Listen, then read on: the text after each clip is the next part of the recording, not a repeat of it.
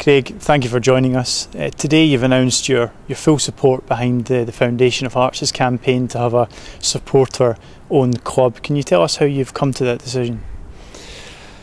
Uh, well, I wanted to be um, certain before I, uh, I lent my support to, to anybody who was, uh, was trying to take over the club that um, you know basically the club was going to be in safe hands. And you know I've, I've been speaking back and forward to, to Lawrence Brody, who's the PR guy and uh, asked some questions and, and basically um, you know, I've come to the conclusion that you know this is definitely the right way to go.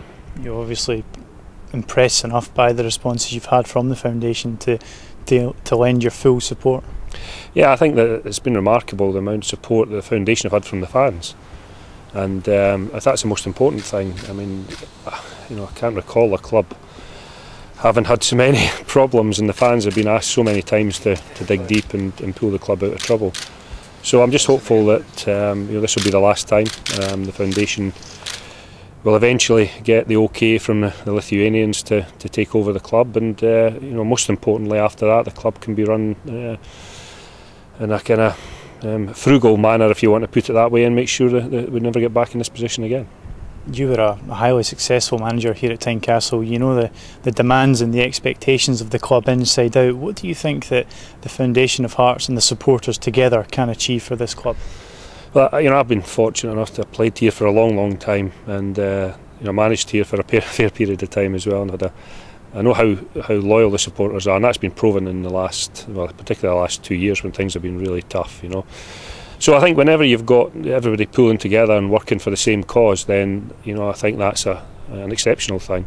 And on top of that, of course, you've got a, a group of young players and a young manager who are uh, working their backsides off to, to try and keep everybody happy. And, and I must say they're doing a fantastic job so far.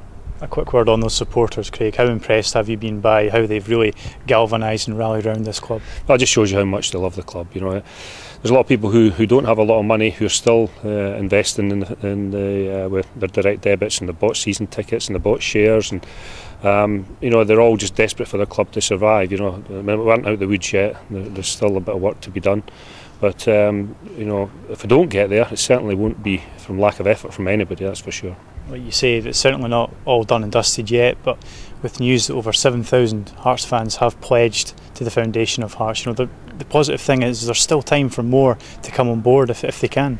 Yeah, that's right, and I know that, uh, that the foundation are, are just trying to, to, up the numbers continually, just to, to make sure that the club has enough money to, to run. Um, and this is, let's be honest, this, this, year and next year are going to be quite tough. You know, there's uh, there's money that went into season tickets and shares and more season tickets that's that's disappeared really. And um, you know the, the current management and uh, the club current people running the club aren't going to get the benefit of that. So it's going to be tough for a couple of years um, but with with the support of these uh, these fans here then I'm, I'm sure everything will be okay. To the product on the park now Craig how impressed have you been with the way that Hearts have started this campaign? Yeah I was here for the for the Hibs game I enjoyed that one. Uh, and you know, I, I, mean, sometimes you get young kids in the team and they can freeze and they, they lack experience and they, you know they can be a little bit disjointed. But I haven't seen that at all. You know, the, the games that I've watched, I saw the I watched the Partick game on TV, and uh, as I say, I was at the Hibs game. Um, you know, I speak to people regularly about uh, about Hearts and how they're playing, and the young players have, have, stepped up to the plate. You know, and, and the manager as well. You know, he's, he's doing a fantastic job. Um, they've got very little experience in the team, and you know to, to pick up the amount of points that they've picked up already, I think is, is, is really quite remarkable. I would you know I'd caution everybody to just to keep your feet on the ground. you know, there's a long way to go. It's a long season. There's winter months to go through. There's suspensions and injuries and such like, and there'll be a time when the, supporters are, you know, they've been brilliant so far, and uh, urge everybody uh, that whenever there is a sticky time, and there will be, because no team goes right through the season, particularly with young players and and manages to, to turn in the performances every week. It will get difficult at times, and uh, you know, I just urge the fans to do exactly as they've been doing and uh, and support the team. Jake, thank you very much. My pleasure.